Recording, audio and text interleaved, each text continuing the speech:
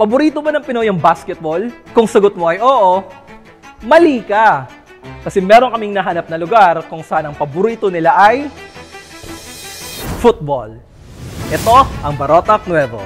Kilala ang bayan na to sa Iloilo bilang football capital ng Pilipinas. Sa halip na basketball court, meron silang dalawang football fields at tumitigil ang buong bayan pag may laban.